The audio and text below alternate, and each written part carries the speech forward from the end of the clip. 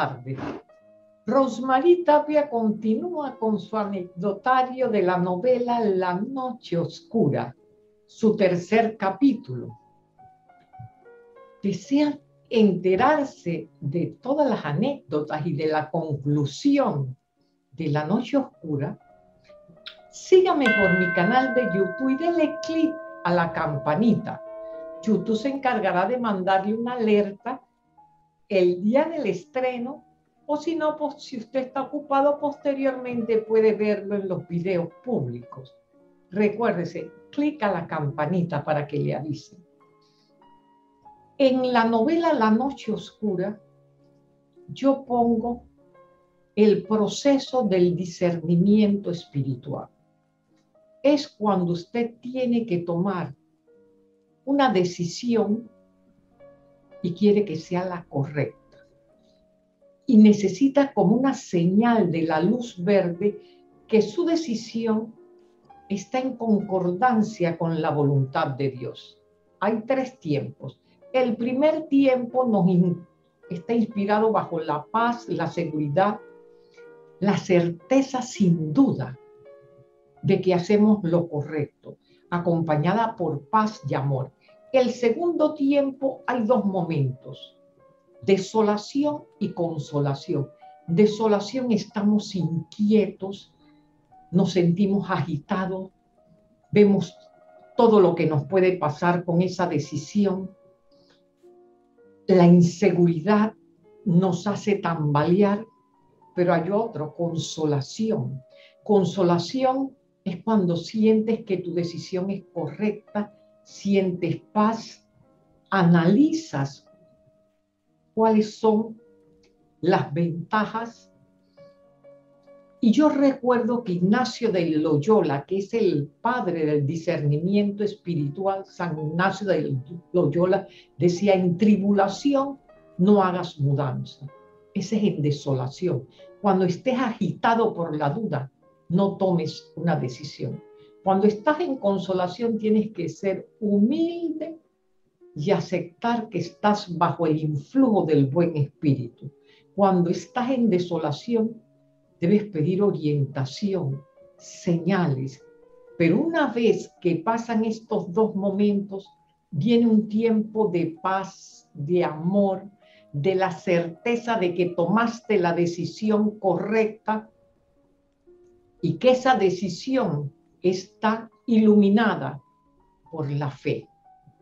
Yo lo explico muy bien en la novela que Xiomara le explica tanto a Imhotep como a su madre cómo se toma una decisión, porque ellos tienen que tomar, examinar su pasado y tomar las decisiones correctas. Después de publicada la novela, yo tengo varias anécdotas entre ellas, el encuentro con dos lectoras que son mis hijas putativas, como yo les llamo, Isabel y Gina. Gina estaba en las farmacias Arroya, toma la novela La Noche Oscura y cuando voltea el libro para leer la biografía, se da cuenta que yo nací el mismo día de ella, 6 de diciembre. Ella me lee la novela y me escribe un correo y me pone el celular. Ella nunca se imaginó que yo en vez de contestar el correo le iba a llamar. Yo llamo al teléfono, digo con Gina, dice ella, le habla, digo, te habla Rosemary Tapia, decía, no puede ser, no puede ser, no puede ser. Digo, sí puede ser. Dice, es que esa novela yo me sentí identificada y cuando volteo la novela nacimos el mismo día quedamos en vernos, ella tenía una amiga íntima, muy querida, Isabel. Cuando ella me pregunta a mí que quería hacerle un regalo a Isabel, ¿cuál de tus novelas? Yo le digo Caminos y Encuentros. Yo percibí la personalidad de Isabel, sabía que tenía una gran intuición y que en ocasiones esa intuición la asustaba. Yo le recomiendo Caminos de Encuentro a partir de ese momento se inicia una bella amistad. Y ellas me dicen Mamá Rose. Y yo siempre las oriento con mucho cariño pero las regaño también. Yo les digo que yo les doy chancletazos virtuales, porque en ocasiones, sobre todo Gina, quiere salirse un poquito del redil, mucho entusiasmo, mucha alegría, y yo la llamo al orden y digo, hagas el discernimiento espiritual y tome la decisión correcta. Bueno, otro de los incidentes después de la novela, yo voy a un colegio público a recomendarla y se la regalo a la profesora. Regreso como a las dos semanas y la profesora me dice, yo no puedo mandar esta novela. Esta novela es muy fuerte para mis niñas mis niñas no soportarían esta novela. Yo le dije, ok, yo me regreso y voy por el camino. No había caminado ni 40 metros y me encuentro a cuatro niñas embarazadas. Yo regreso donde la profesora, mi profesora, discúlpeme. Acabo de ver en este pasillo a cuatro niñas embarazadas. Y usted me dice que la novela es muy dura. Ellas más que nadie necesitan la novela. Al lado de ella estaba otra profesora y dice la profesora, yo la voy a mandar y no solo voy a mandar la novela, sino que les voy a poner un ejercicio. Por una semana van a tener que traer un muñeco y cargar ese muñeco como si fuera el bebé, para que ellas vean que si el muñeco da trabajo, mucho más las va a interrumpir en sus estudios un bebé. Bueno, mandamos, mandaron la novela, yo voy a un conversatorio cuando estoy en el conversatorio, se pasa un estudiante por atrás. Dice, escritora, ¿puedo ser sincera con usted? Digo, sí, para eso estamos, para conversar. Dice, usted se pasó en la noche oscura. Digo, por el embarazo en adolescente. Dice, no, la puso a parir mellizo y eso me traumatizó. Digo, primero, ¿qué te puede pasar? Yo soy melliza, le dije, por eso la puse el embarazo de mellizo.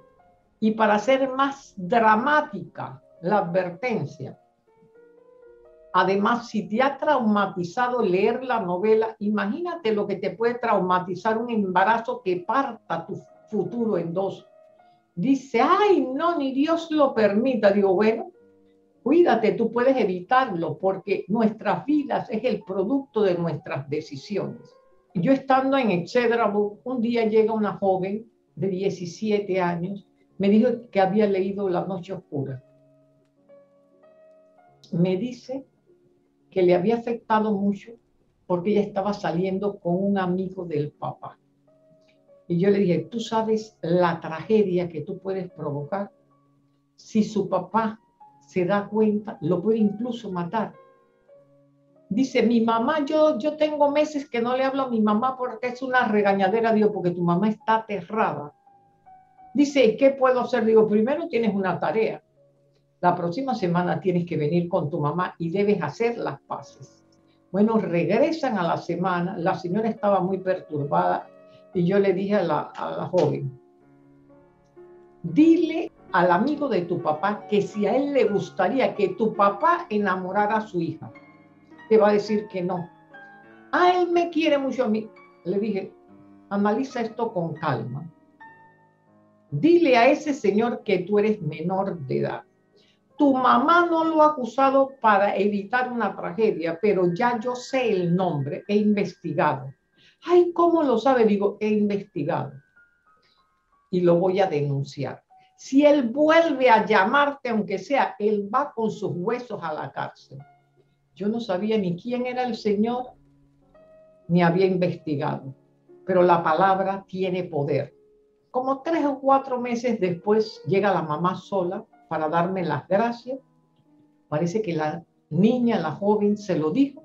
El hombre se aterró y no solo no la llamó más, nunca más pisó la casa. Y el papá preguntaba, ¿pero qué le habrá pasado?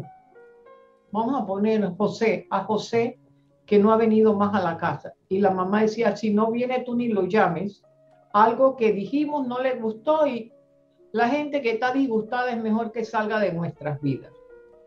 Y se pudo evitar una tragedia. En la novela yo pongo que hago una fiesta cuando llega, porque hay dos parejas similares, dos jóvenes que pongo en la novela, dos jóvenes que tienen el mismo problema. Uno de los jóvenes, yo pongo en la novela que viene a Panamá y se hace una fiesta, y yo pongo en la novela nombre de alguna de mis amigas. Se me olvida una amiga muy querida y ella lee la novela y me llama. Dice, ¿cómo es posible que viene el español a conocerlas? Hacen una fiesta y tú no me invitas a mí. Digo, te atrapó el mito. Esa fiesta solo existe en la novela. Bueno, ¿quieren seguir escuchando las anécdotas de las demás novelas? Suscríbase a mi canal de YouTube y dele clic a la campanita y se va a enterar porque YouTube le manda una notificación, una alerta. Yo quiero decirles que a, que a raíz de la creación literaria de las novelas, de las lecturas, surgen muchas anécdotas de enseñanza para los jóvenes. Y si usted, padre de familia, ve estas anécdotas, haga que su hija la vea y que su hijo, porque también hay muchachos que embarazan a las muchachas, aunque casi siempre es un adulto, y destruyen su futuro. Dígale que vean, no les digan de qué se trata. Yo les aseguro que con la primera con las primeras palabras mías se van a ir atrapando y van a querer qué dice la escritora, qué pasó con esta novela, y de ahí van a la novela. Las novelas están de venta en Gran Morrison y en los principales sitios de venta. Y si usted reside en el extranjero y está viendo este anecdotario, las puede encontrar en Amazon. Un fuerte abrazo y hasta siempre.